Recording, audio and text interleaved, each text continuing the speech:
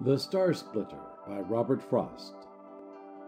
You know Orion always comes up sideways Throwing a leg up over our fence of mountains, And rising on his hands, he looks in on me, Busy outdoors by lantern light With something I should have done by daylight, And indeed, after the ground is frozen, I should have done more before it froze, And a gust flings a handful of waste leaves At the smoky lantern chimney, To make fun of my way of doing things or else fun of Orion's having caught me.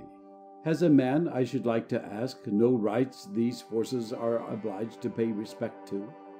So Brad McLaughlin mingled reckless talk of heavenly stars with hugger mugger farming, till having failed at hugger mugger farming, he burned his house down for the fire insurance, and spent the proceeds on a telescope to satisfy a lifelong curiosity about our place among the infinities.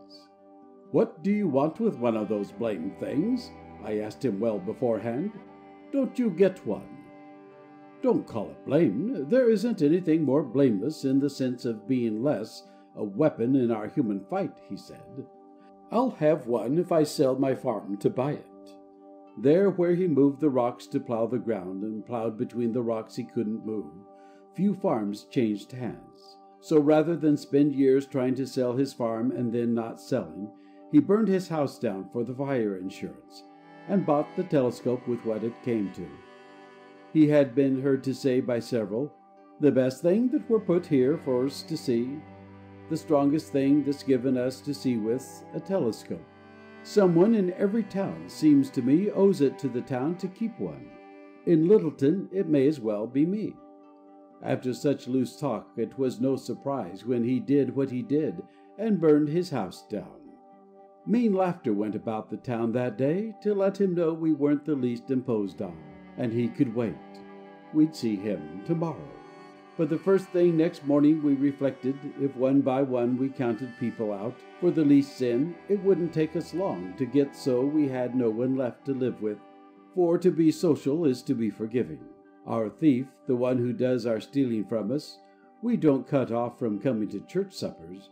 But what we miss we go to him and ask for; he promptly gives it back that is, if still uneaten, unworn out, or undisposed of. It wouldn't do to be too hard on Brad about his telescope. Being the age of being given one's gift for Christmas, he had to take the best way he knew how to find himself in one. Well, all we said was he took a strange thing to be roguish over. Some sympathy was wasted on the house, a good old timer dating back a long. But a house isn't sentient. The house didn't feel anything, and if it did, why not regard it as a sacrifice, and an old fashioned sacrifice by fire, instead of a new fashioned one at auction. Out of a house, and so out of a farm, at one stroke of a match, Brad had to turn to earn a living on the Concord Railroad as under ticket agent at a station, where his job, when he wasn't selling tickets, was setting out up track and down, not plants as on a farm, but planets, evening stars that varied in their hue from red to green. He got a good glass for six hundred dollars. His new job gave him leisure for stargazing. Often he bid me come and have a look up the brass barrel, velvet black inside, at a star quaking in the other end. I recollect a night of broken clouds, And underfoot snow melted down to ice, And melting further in the wind to mud. Bradford and I had out the telescope. We spread our two legs as we spread its three, Pointed our thoughts the way we pointed it, And standing at our leisure till the day broke, Said some of the best things we ever said. That telescope was christened the Star Splitter, Because it didn't do a thing But split a star in two or three the way you split a globule of quicksilver in your hand, with one stroke of your finger in the middle. It's a star splitter if there ever was one, and not to do some good as splitting stars 's a thing to be compared with splitting wood. We've looked and looked, but after all, where are we?